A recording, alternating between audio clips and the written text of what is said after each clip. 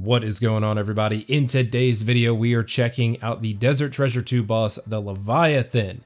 In this guide, I'm going to take you guys through some hard requirements, some suggested items and stats, as well as all of the boss mechanics, everything you need to know to get to camping this boss. Now, I'm not going to lie to you, this boss is challenging. It is pretty hard. It's going to take you a little bit to get used to the rhythm of the boss and to get to a point where you will be getting multiple kill trips. But don't worry, I'm going to try to take you from no experience to camping this boss with ease throughout this video. Before we get into today's guide, if you didn't know or if this is your first time checking out one of my videos, I do have an old school RuneScape merch store on Etsy. You can find a link to it in the description below or on the channel banner of my YouTube page. All the stuff in this shop is handmade by me in my office at home and shipped directly to you. Got all kinds of cool stuff, pint glasses, beer mugs, canned koozies, stickers, decals, t-shirts, and a bunch more stuff. So if you got some time, check it out. Without further ado, let's get this Leviathan guide started. Hard requirements. The hard requirements for this boss are very simple. All you have to do is finish up Desert Treasure 2, The Fallen Empire. That is the newest quest in Old School RuneScape at the time that this guide is coming out. It's a pretty tough quest, it's pretty long, uh, but you will be able to kill this boss as much as you want after you finish the quest. You will be able to kill it one time during the quest, and you will actually get a roll on the monster's loot table, which is pretty new for Jagex. Suggested requirements. I do have some suggested stats and items to make your life a little bit easier while you are camping the Leviathan. We'll start out with the suggested stats. Level 92 ranged. The higher your range, obviously, the better it's going to be, but I would suggest that you have at least level 92. Obviously, you can do it with less than level 92, just at 92. I think that gives you the best chance, and obviously going higher. Level 74 prayer with the rigor prayer unlocked. Rigor is going to help you a lot here with that damage boosting and accuracy boosting. Level 88 Magic. There is a mechanic in this boss fight that you will need to use the Shadow Barrage spell to stun the Leviathan. Thus, 88 Magic is one of my suggested stats. As for the suggested items, the Web Weaver Bow. It is kind of expensive. It's not super, super expensive, but it is uh, between 20 and 30 mil at the time that this video is coming out. It is very nice to have. The Web Weaver Bow special attack does huge damage to the Leviathan at the end of the fight in the Enrage phase. Normally you can finish the boss off with just two special attacks from this, making your life a lot easier. Along with that, you will want to have a light bearer. The light bearer does restore your special attack energy faster, so you will be able to use two of the Web Weaver bow special attacks each kill. Location and how to get there. If you have finished the quest and forgotten how to get there, or you're checking out this guide because you're doing the quest and you need to kill the Leviathan, you will have to go to the Guardians of the Rift to get there. You will talk to the Catalytic Guardian, who will then transport you to the Scar, and that is where you will fight the Leviathan. Easiest ways to get there are the Fairy Ring code DIS, which will teleport you to the Wizard's Tower, or the Amulet of the Eye, I believe it is, which takes you to Guardians of the Rift. Once you get to the scar, just run straight east, hop over the stepping stones over to the rowboat, take the rowboat, and you will arrive at the Leviathan's arena. Suggested gear setups. In the interest of cutting the time down in this guide, I'm not going to go through all my usual gear setups. However, this image here you can find over on the strategy guide page for the Leviathan on the Old School RuneScape wiki. It lists all of your most effective to least effective gear, however the least effective is still viable if that is what you have to work with. So over on the left, your best in slot stuff, full Masori kit, Necklace of Anguish, Ava's Assembler, the Zaryte crossbow if you're using a one-handed bow, and the Bow of Ferdinand, or Bofa, if you are using a two-handed bow. Twisted Buckler in the shield slot, Dragon Arrows or Ruby Dragon Bolts E, Zaryte Vambraces, Pegasian Boots, Lightbearer, and a Web Weaver bow. Most of this stuff is what I am going to be using myself, except for I'm actually going to be using a Twisted Bow with Dragon Arrows rather than the Bofa because I don't have one. I did try out the Zaryte crossbow and my kill times didn't really improve that much for me to keep that 500 mil item just chilling in my bank. So if you would like to view this without coming back to this video and pausing it all the time, you can find it on the strategy guide page for the Leviathan down near the bottom. Boss room layout.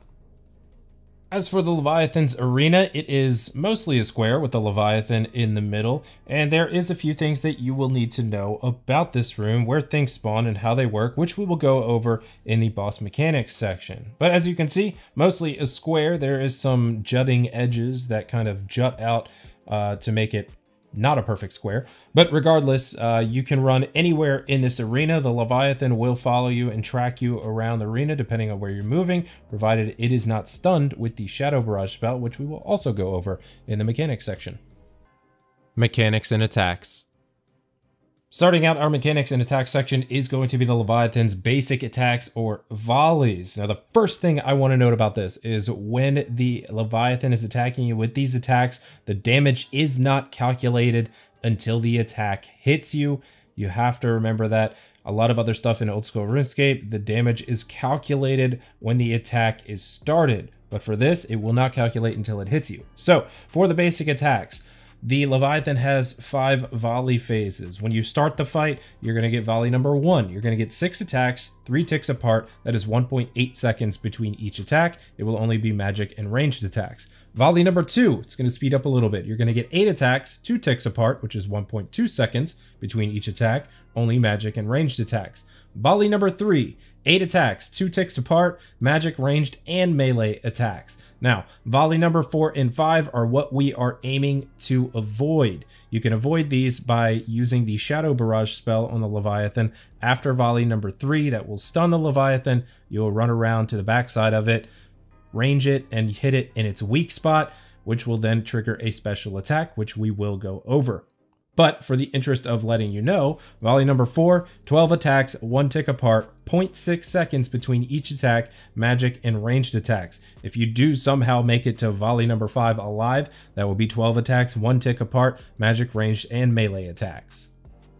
Before we get into our next mechanic, here is an example of how the fight might go. When you start killing the Leviathan, you are going to go through volleys 1, 2, and 3. After the third volley is finished, you'll want to cast a Shadow Barrage on the Leviathan to stun it. You'll run around to the backside, hit it in its weak spot, and then you will trigger a special attack. After the special attack is completed, you will then restart the basic attacks at volley number 2. That will be two ticks apart, eight attacks. You will go through volley number two, then volley number three. Then you will stun the Leviathan again, trigger the next special attack. And then if you are still working on finishing the kill, you will then revert back to volley number three, which will be eight attacks, two ticks apart with magic ranged and melee attacks. If you still need more time to get the Leviathan down into its enraged phase, you will then stun it again. And each time after that, it will keep resetting to volley number three. Continuing on with our basic attacks and volleys. After each volley is completed, the Leviathan will roar and drop some boulders from above you. One of these boulders will always come down where you are standing, but you do not have to worry about AoE damage, or if you don't know what that is, area of effect. They only do damage on the tile that they fall on, so you only need to move one tile out of the way. If you're more comfortable moving more than that, that is also fine. The Leviathan will also drop some random ones around the arena. Just make sure you don't run under any of those. Onto the special attacks. After you stun the Leviathan and hit it in its weak spot, it is going to trigger a special attack. And that special attack is either going to be the Lightning Barrage or the Smoke Blast. It is completely random which one starts the fight, or rather which one will come after the first time you stun the Leviathan. However, once you see which one it is, you will know which one is coming next. If it starts with Lightning Barrage, it'll be Smoke Blast the second time around. If it starts with Smoke Blast, it'll be Lightning Barrage the second time around. And they keep alternating like that throughout the fight. Lightning Barrage to Smoke Blast, back to Lightning Barrage, and then to Smoke Blast. Now there is a nifty trick on how to identify which special attack will be coming first in the fight. After the Leviathan finishes the first volley of attacks, there will be some rocks that fall and they will stay. If these rocks are on the east and west side of the arena, it will be the lightning barrage attack first. If they stay on the north and south sides of the arena, then you know that it will be the smoke blast. So in this clip that you're seeing right here, they're on the east and west, so I know that it will be lightning barrage first. The first one we'll cover in detail is going to be the Lightning Barrage. Now for the Lightning Barrage, obviously the Leviathan will track you around the room with lightning and it will tail you. The way that you can avoid this, there's actually two ways, one of which I don't particularly care for. There is a lightning skip, which I am not going to show in this video. I don't particularly like this because it is risky. If you get a dead click or a little bit of a lag spike, it could mean the end of your kill and a few hundred thousand GP in a death cost. For me, I actually prefer to run around the Leviathan and try to hit it on the corners. Now you can also take the time to run around the Leviathan if you're low on health or low on prayer. Use your potions, use your food, get your health and prayer back up. But for me, I'm usually pretty good at it, so I try to get some additional DPS off during the lightning phase attack by hitting at the corners with my twisted bow. Another thing you'll notice throughout this lightning attack is going to be those little blue orbs that the Leviathan is spitting out. So those will hit in random places and do a little bit of damage if you do happen to get hit by one. The way to avoid this is by staying extremely close to the Leviathan. You'll want to stay on the closest square of tiles surrounding the Leviathan and they will not land there. They never do. That is how you avoid all of the damage from the orbs that are thrown out by the Leviathan.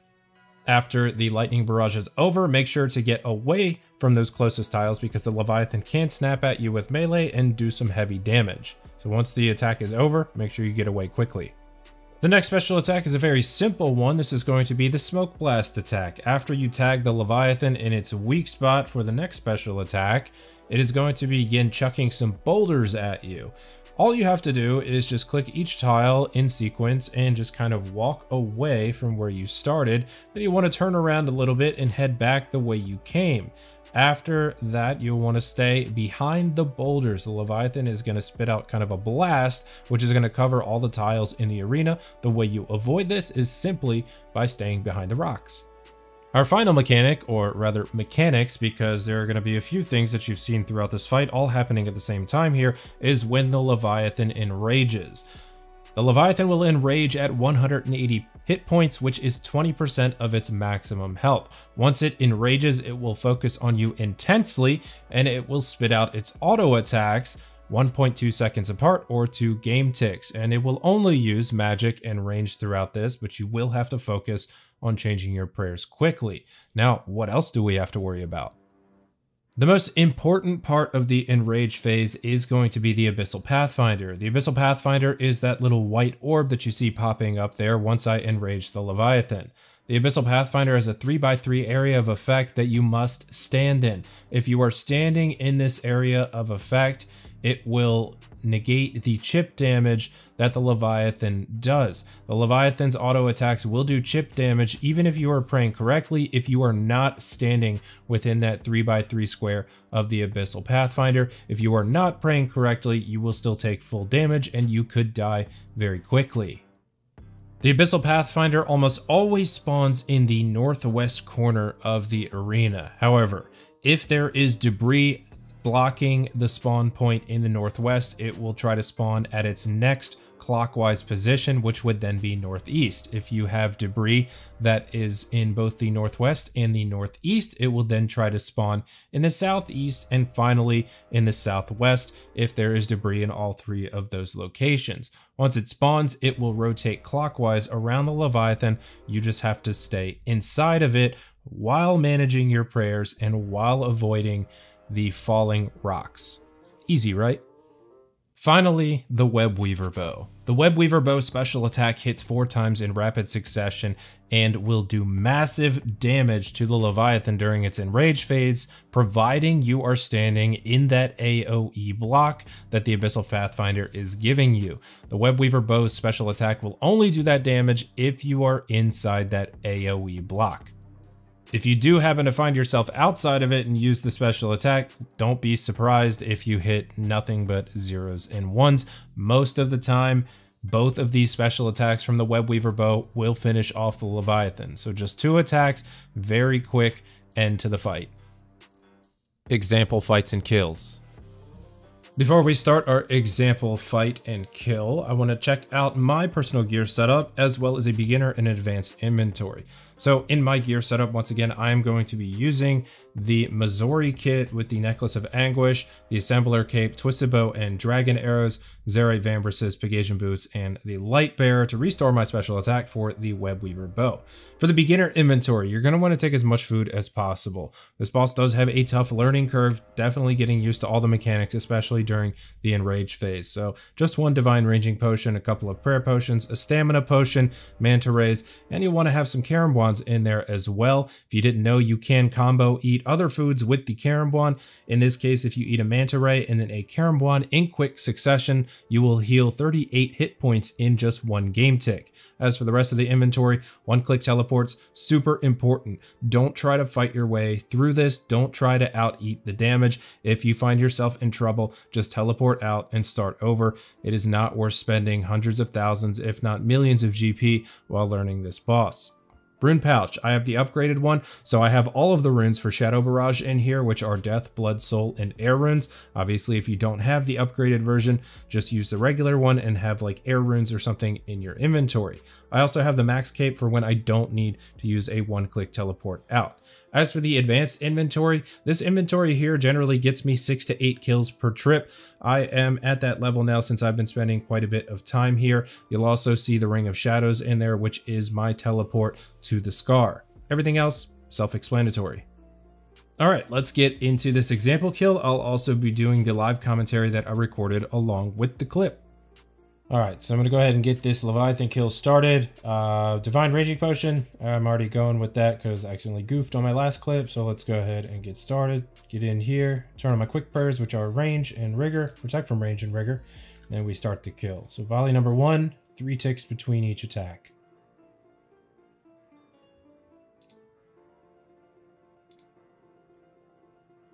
All right, and we've got our first boulder toss. I'm just gonna move one tile out of the way. And our next one is two ticks between each attack, just mage and range.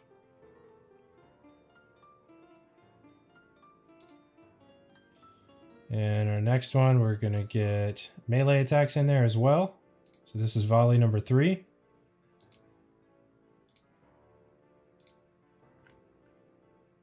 And now I'm going to quickly move out of the way. Shadow Barrage, if I get an attack thrown at me, I just want to flick it, nothing. All right, so now I'm going to come over here. We're going to hit the Leviathan in its weak spot. And this is going to be a lightning attack. So I like to run around with this. I'm going to stay as close as I can. I like to hit on the corners. So we'll get a corner hit here. And we'll keep moving. Corner hit. Keep moving. Corner hit. Keep moving. Corner hit. Corner hit corner hit. And we're back into volley number two here. So two ticks in between each attack.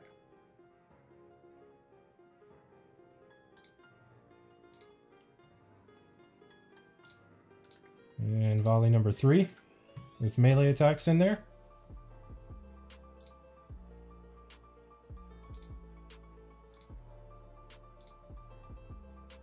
To step out of the way, throw a Shadow Barrage to get the stun off, range prayer real quick, get over to the weak spot. Now this one is going to turn immediately at me, so I'll be able to get two attacks off here. And then I'm just going to walk to each tile, to about five or six tiles. Then I'm just going to turn around, come back to the end to avoid the smoke attack, and then I'm back on it. Alright, so I am pretty close to spawning uh, the white orb that'll come up in the northeast here since nothing is blocking it. But it doesn't look like I'm going to make it, so I'm going to need to stun again. Flick range prayer real quick. Come around the back, and this is going to be another lightning attack. Now for this one, since it's going to be somewhat low, I want to start running around and if I'm going to take it under 180 HP, which my next attack very well could, I want to keep running around until I get close to that northwest corner again. Like I did not just do right there on the misclick, but luckily 186 HP. So now when I get here, throw another attack. I didn't hit. I'm still close enough, so I'm going to throw one more. And there it is. So I'm going to go over here. I want to get in this. And what's our first attack? It's going to be range. Special attack. Watch the damage. We're going to get one more special attack and the kill is over. So that Web Weaver bow is, wow, look at that. That is pretty lucky to be getting that while I'm recording this video. So that is a Leviathan kill. Super easy, not bad at all once you get some practice. You will need some practice for this. I promise you that your kills are going to be slow at first, but you will get the hang of it and eventually you'll average about two minutes a kill. So that is going to wrap up my guide to the Leviathan. I hope that this guide has helped point you in the right direction and I hope that it really makes your kills that much easier. As always, I would like to thank all of you for watching. If you have not done so yet, please tap the subscribe button on your way out. If you did enjoy this video, consider leaving a like down below. If you have any questions or comments, I do read them all or as many as I possibly can, and I do try to respond to a good amount of them, so you can also do that down below. Keep an eye out on my YouTube channel for the Vardorvis, the Duke, and the Whisperer guides. I do hope to be putting those out soon. Until next time, Take it easy.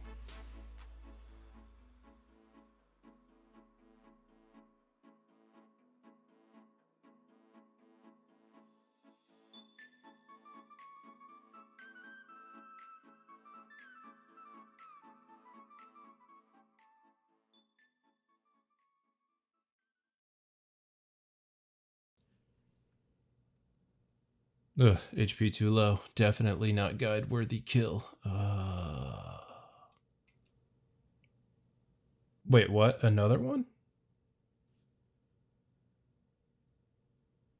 Oh god, range prayer.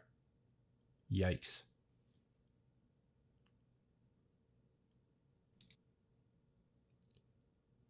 Yo, the back to back. No way. This is the best guide video ever. This never happens to me.